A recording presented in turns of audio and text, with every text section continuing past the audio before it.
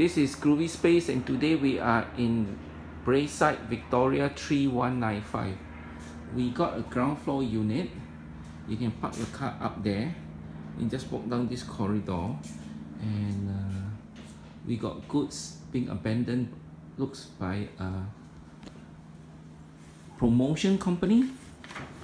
Uh, this is what we call a pad printer. It's for printing uh, your marks, ball, pens, um, something like that. So you print all this on this machine. You can even print your yeah, okay, well, so so there's a printer here. It's not tested. Not sure how it works. So uh, we can't tell you whether it's working or not. Or I can tell you I do not know how to test it. Short of just plugging in in case I damage the machine. Oops.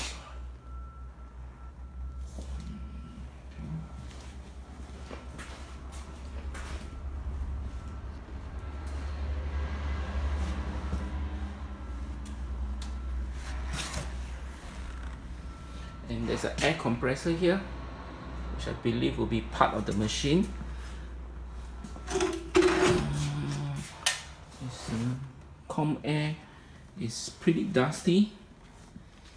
And I think these trays are for lining up all the products before or after you finish printing.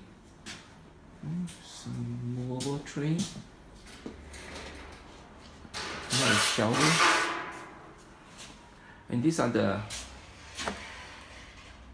this is the pack where you put the image on it. And I think this is for picking up the ink. I don't know what is this for. This impression technology unit. Probably is for making the image on it. Or impression of the company that you're going to print the product on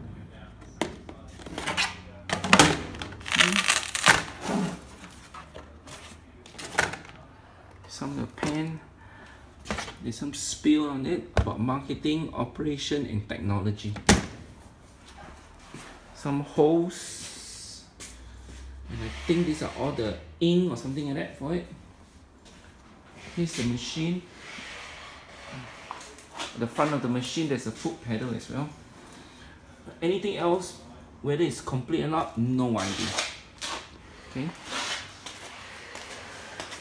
here's some of the uh, material pertaining to the products I think. I think it's quite old pens promotion pens here. It's a whole box of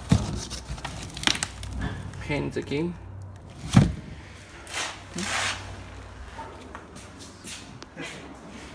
So basically this is the whole unit you're buying.